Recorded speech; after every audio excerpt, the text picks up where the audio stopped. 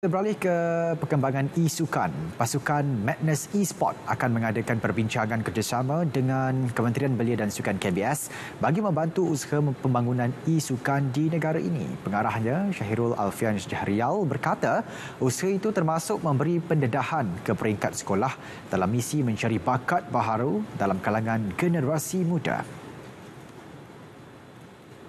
Dalam pada itu, pasukan berkenaan bersedia untuk dijadikan platform bagi melatih serta mengembangkan ke arah positif berkenaan sukan itu.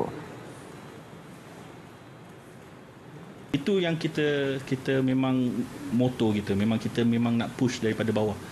Ha, kita nak kita tak nak tengok muka-muka yang sama aja. Kita nak bagi uh, peluang pada anak-anak muda untuk menunjuk bakat mereka di uh, peringkat yang lebih tinggi lah. Tambah beliau lagi ketika ini pihaknya sedang berusaha untuk melahirkan lebih ramai golongan profesional dalam sukan tersebut.